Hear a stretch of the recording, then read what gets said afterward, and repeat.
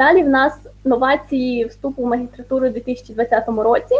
Це електронний кабінет вступника в магістратуру, про що я вже казала раніше. Це подача заяв в електронній формі. Тобто вам тепер не потрібно буде їхати в кожний вуз і окремо завозити пакет документів.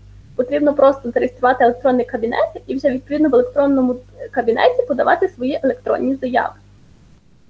Так, в нас е, є максимальна кількість це 5 заяв на місця державного замовлення.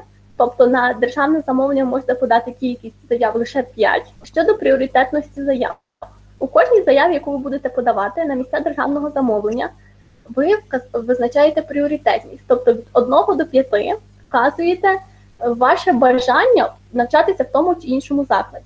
Показник пріоритетності 1 означає найвищу пріоритетність.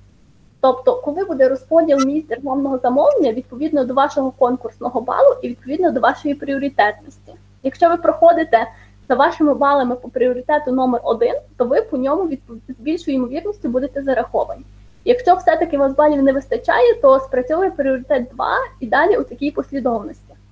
Але зауважте, будь ласка, те, що пріоритетність, яку ви виставите при подачі заяв, в подальшому змінити буде неможливо.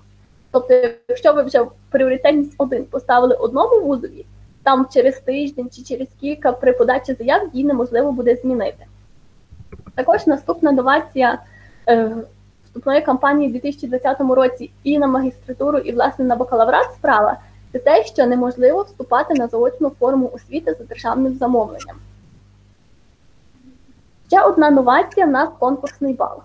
Усі попередні роки конкурсний бал це була сума ваших балів з власне трьох складових: це тесту з іноземної мови, тесту загальних навчальних правничих компетентностей і тесту справа. Але в 2020 році у нас нововведення. Тобто це не просто сума, а це кожен конкурсний е, бал помножений на коефіцієнт.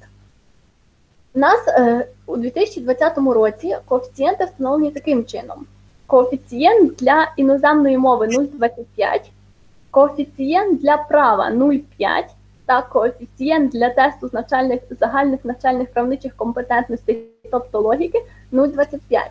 Тобто, як ви бачите, цього року більший наголос йде на право. Тобто право буде визначати половину вашого конкурсного балу, а логіка та іноземна мова будуть визначати іншу половину разом.